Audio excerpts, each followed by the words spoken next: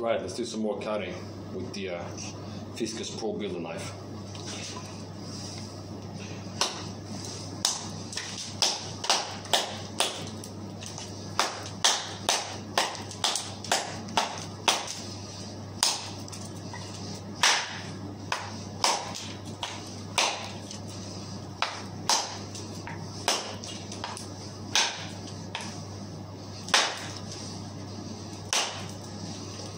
I should be wearing gloves because I'm creating splinters, and if I hit with the thumb, I could uh, cut myself on the wood, not even the knife, but the wood.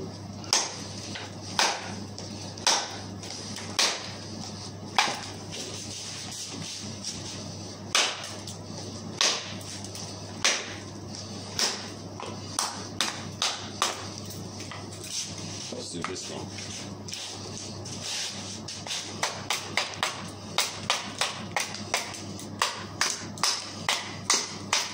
Hacking more than I'm pushing.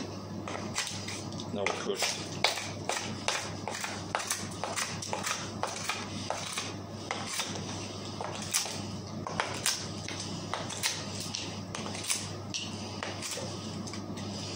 And uh, there you go.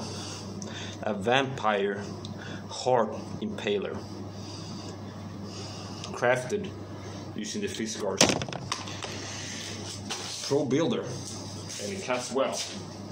And let's see what happens if we uh, whack this wood board. Here's a clean area where I haven't stabbed before, and uh, see what happens if we stab into it.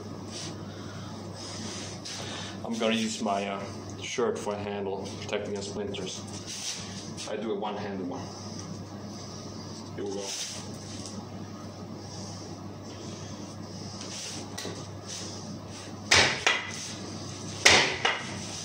Push.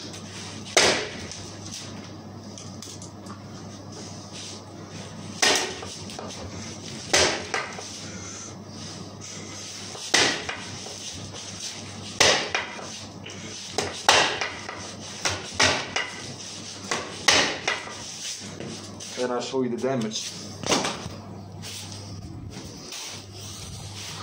This is from that uh, wood vampire slaying pole they used to impale vampires. If you find yourself in a Hollywood vampire movie and uh, all you have is a Fiskars Pro Builder and the wood leg of a chair, then you can make a vampire hailing hook in a short amount of time as you've seen me do this.